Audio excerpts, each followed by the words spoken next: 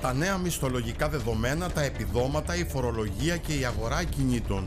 Σε ώρα αιχμή, τα εργατικά κέντρα της Κρήτης, φορείς της αγοράς και φοροτεχνική αναλύουν τη νέα πραγματικότητα.